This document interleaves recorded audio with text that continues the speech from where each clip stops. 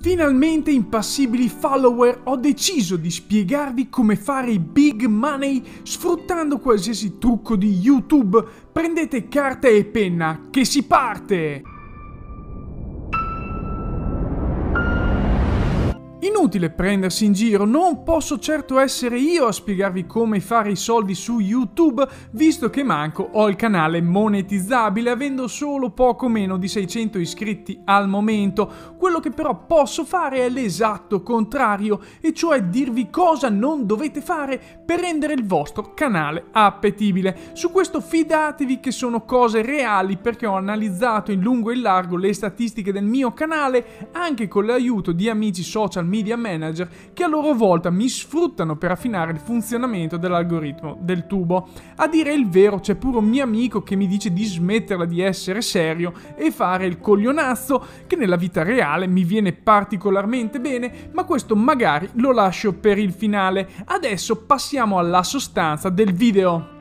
Per prima cosa voglio parlarvi del mio canale, un canale attivo dal 2007 ma che fino al 2019 conteneva solo i miei video blog di viaggio. Ammettiamolo, fatti per gli amici e parenti in cui si notano qualità e doti pessime. Fino a lì avevo una cinquantina di iscritti, poi nel 2020 mi ha portato in Giappone dove facevo diari di vita e ho guadagnato altri 50 iscritti. Poi nell'ultimo anno, aprendo il canale che state guardando, i 500 restanti ho degli indici molto interessanti per YouTube come un ritorno medio superiore al 6% dalle impressioni, con punte anche di 15% su alcuni video, ho spettatori di ritorno superiori alla media segnalatemi da YouTube e lo stesso per gli iscritti. A proposito di iscritti, l'età preponderante è tra i 18 e i 35 con un bel 70% circa. Non prendetevela quindi se provo a fare il giovine anche se non lo sono più. Ma quindi posso lamentarmi dei risultati? No, non ho nulla da lamentarmi, il canale è in crescita e soprattutto vario, ma diversi dati mi dicono che è anche in declino su certe tipologie di video che faccio e che altri più grossi hanno, tra virgolette, copiato. Insomma, se fosse il mio lavoro non ci sarebbe da esserne così contenti Avendo tirato in ballo il lavoro, passo ad un mito che voglio stroncare. Essere uno youtuber non è un lavoro, o meglio, è un lavoro per quei taluni che riescono a mantenersi facendolo, ma non è un lavoro per le migliaia di altri che vorrebbero lo fosse e che non ce la fanno. Poi una cosa molto semplice, voi tra dieci anni quanti youtuber che guardate ora continuerete a guardare? Ma saranno ancora lì a fare youtuber? O peggio, guarderemo ancora YouTube anziché passare a TikTok? Paura! Se notate, poi nel mercato italiano tutti o quasi vendono prodotti o hanno Patreon per aumentare gli ingressi e usano la piattaforma solo per visibilità e rilanciare altre loro attività.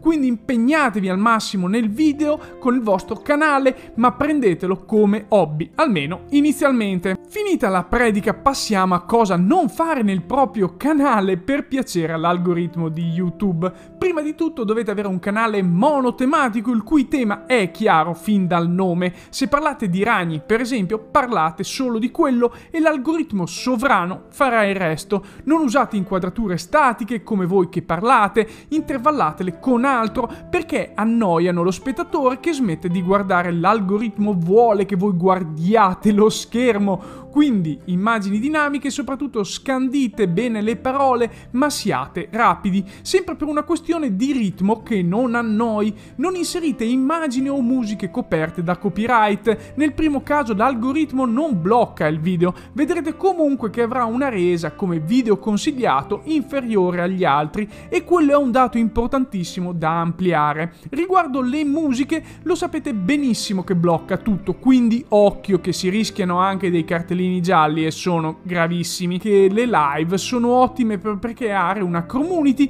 ma al tempo stesso hanno visioni molto inferiori sul lungo periodo, sebbene più approfondite di certi video. Come avete potuto notare, a parte le musiche, tutto il resto è esattamente quello che faccio io consapevolmente, perché a me piace così e chi se ne delle visual. Due parole su cosa fare per piacere all'algoritmo le devo però dire. Una è palesemente quella di essere polarizzati, intransigenti e categorici con le affermazioni, magari che vadano controcorrente, che dicano che voi siete voi e che gli altri non capiscono un tubo. Questo perché porta tantissime visual e commenti, poco importa i dislike, sono comunque interazioni per l'algoritmo e se poi chi se la prende commenta anche è anche meglio. Ovviamente non potete mettervi tutti contro, tenete sempre un rapporto like e dislike superiore all'80%, meglio se 90%. Io col video di Creators ho fatto danni perché ho un rapporto inferiore al 60%,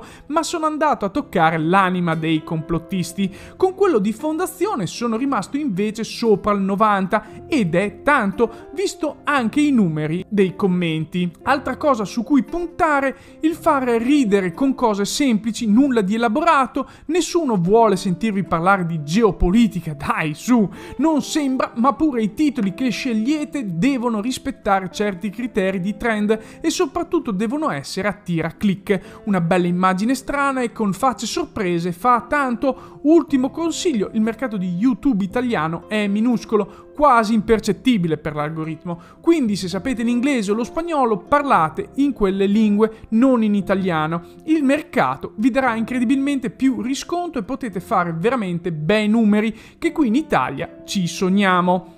Dimenticavo dovete sempre avere qualcosa di sensato e di concreto da dire. Voglio poi ringraziare le diverse persone che nei vari commenti dei vari video mi incoraggiano, mi dicono bravo, grande, continua così.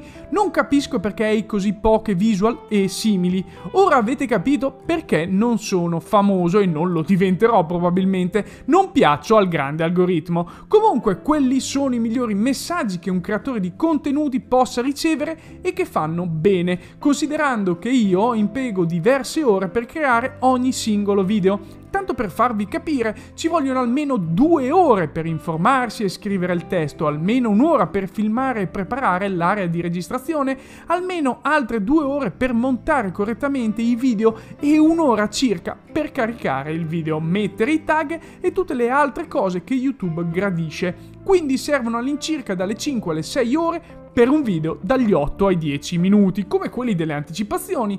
Poi magari io sono puntiglioso e preciso, però da sempre se devo fare una cosa o la faccio meglio che posso o tanto vale che non la faccia. Come dicevo, io sono fiero dei risultati raggiunti in questo anno, anche se mi aspettavo di avere qualche cosina in più, ma in fondo ero solo io che speravo di riuscire a piegare l'algoritmo alla mia volontà quindi peggio di Davide contro Golia.